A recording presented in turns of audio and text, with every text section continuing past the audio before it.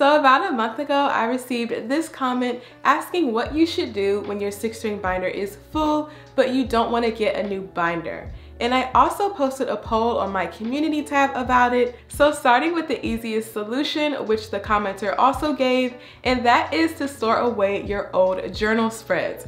So any storage container or filing folder that you have, or even any space you have on your desk or shelf are all great options for this idea. By the way, this can also apply to refills that you want to change out even if you haven't used them yet. So the next idea that you can try is to make a scrapbook page or a collage out of your older journal spreads. So this could be a great idea for those that are into creative journaling. So adding your previous six ring binder pages either to a larger page, so say a 12 by 12 scrapbook page or even an A4 size page for example, are both great ways to preserve your old binder refills while also freeing up space in your binder. Another idea if you're more practical is to throw them away or to recycle them, especially if you're thinking it does not make sense to keep all these papers and you really want a fresh start in your six ring binder.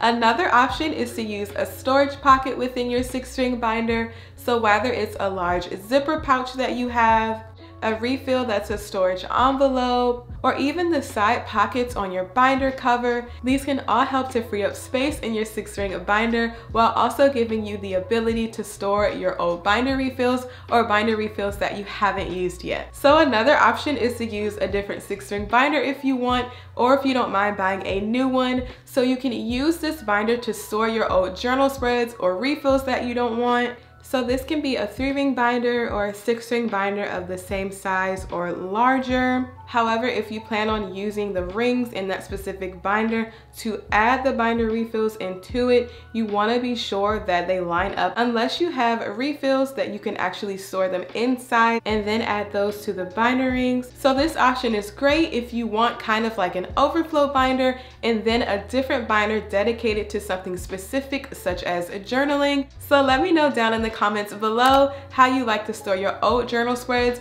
or even if you store them at all. And be sure to check out my 6 ring binder playlist for more 6 ring binder content. And if you haven't subscribed yet to be a part of the Kiitten family, be sure to do so below. And I love you guys so much Kiittens and thanks for watching.